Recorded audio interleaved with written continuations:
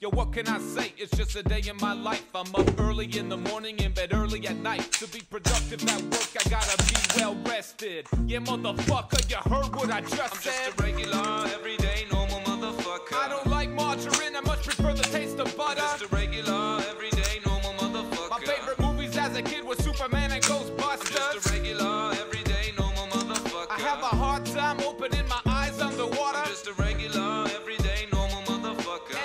huge Nicolas Cage fan.